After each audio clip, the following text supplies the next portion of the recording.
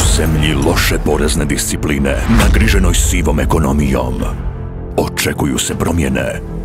Kako? Vidim, imate samo dvoje prijavljenih radnika.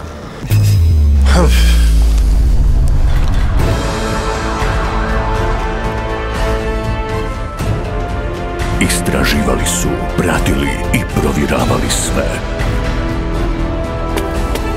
Što im je bilo sumnjivo.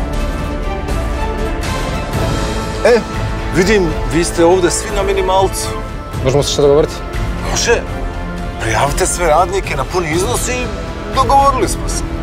Zbog sive ekonomije godišnje se gubi minimalno 8 milijardi maraka. Pad sive ekonomije. Ovo je tvoj život. Može bolje. Proširenjem porezke osnove i smanjenjem stope doprinosa kao i jačim inspekcijskim djelovanjem povećavamo porezku bazu i kreiramo jednake prilike za sve građane.